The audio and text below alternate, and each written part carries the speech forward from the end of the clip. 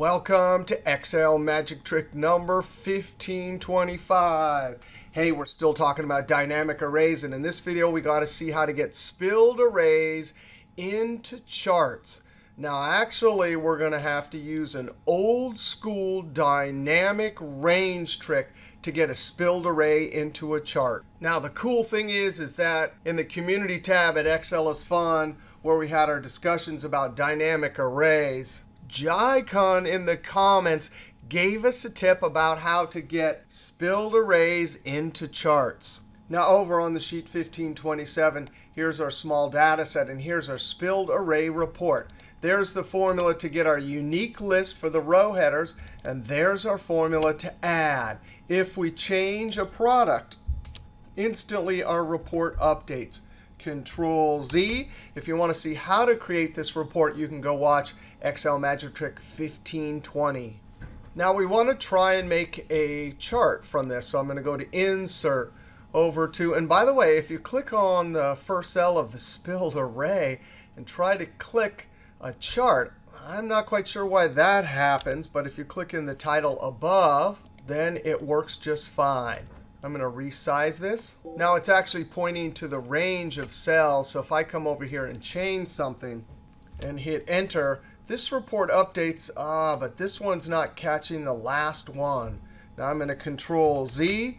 The first thing we want to try is simply to edit the chart using Select Data.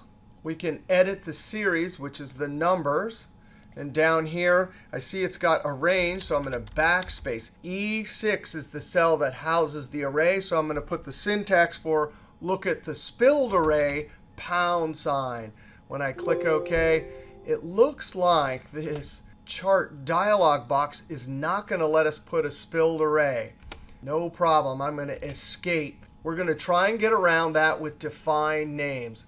Now, if we go up to Formulas, Name Manager, we'll actually get to see something cool about define names. I'm going to click New, and I'm going to try the Sales first. So Sales, and down to Refers, I'm going to delete all of that and click on the first cell. And now I'm going to put in the New Name dialog box the pound symbol. That refers to the spilled array. And when I click OK, doesn't look like that dialog box has trouble. New, I'll add product. Delete that. Click in cell D6, pound. Click OK. Click close. Now, here's the cool thing about define names. And you can use the keyboard F3, and it will give you your list of names. And you can double click whatever you want.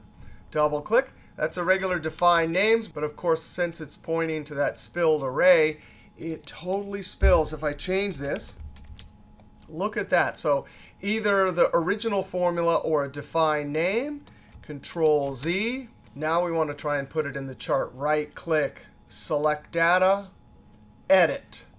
And for series, that's the numbers, I'm very carefully going to backspace. I'm going to leave the sheet name in with the explanation point. F3 and double click sales. So we have a defined name after the sheet name. Click OK. Now if you click Edit and go back and look, it converts it to a workbook name. That's been the same for as long as I can remember in Excel. Click OK. Edit. Backspace. F3, double click Product. OK. OK. And now here's the moment. Let's change Carlota to Yanaki. And when I hit Enter, this report's updating, and so is this one. If I come down to the bottom, here's our table tab. If I add an Aspen, look at that. Everything's updating, even the chart. We'll add 4,521, and look at that.